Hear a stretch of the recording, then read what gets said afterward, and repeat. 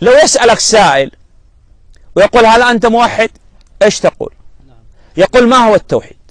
يقول بين لي التوحيد. كيف أكون موحد مثلك؟ ما هو التوحيد الذي أوجب الله سبحانه وتعالى على العباد؟ والذي كفار مكة أبوا أن يقولوا به. يعني أبو جهل يعرف التوحيد صح؟ والله يعرف. وأبى أن يقول لا إله إلا الله. فرعون أبى أن يقول. فقبح الله من أبو جهل أعلم منه بأصل الإسلام. أبو جهل رأس الكفر يعرف التوحيد. وعندنا أناس يدعون الإسلام وهو يعرف التوحيد. الآن لو جاءنا كافر وراد الدخول في الإسلام هل يكفي أن يقول لا إله إلا الله بلسانه؟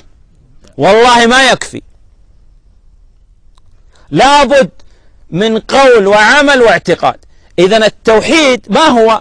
هو إفراد الله سبحانه وتعالى بما يختص به من الربوبية والألوهية والأسماء والصفات. هذا معناه أن التوحيد ثلاثة أقسام. القسم الأول من التوحيد توحيد الربوبية هو إفراد الله سبحانه وتعالى بأفعاله أو إفراد الله سبحانه وتعالى بالخلق والملك والتدبير. الثاني توحيد الألوهية توحيد العبودية توحيد العبادة. هو إفراد الله سبحانه وتعالى بالعبادة لا يعبد إلا الله. أو إفراد الله سبحانه وتعالى بأعمال العباد.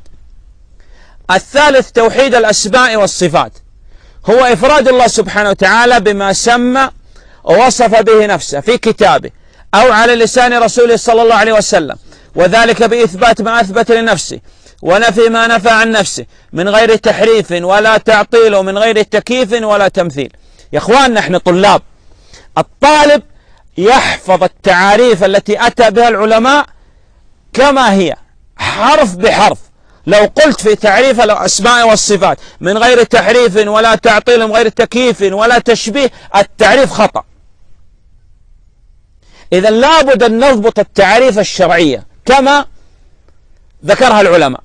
أصبحت عالم عرف اللي تريد. أما الآن أنت عالم أو طالب طالب لابد تسير على التعريف الذي التي ذكرها العلماء والله أعلم.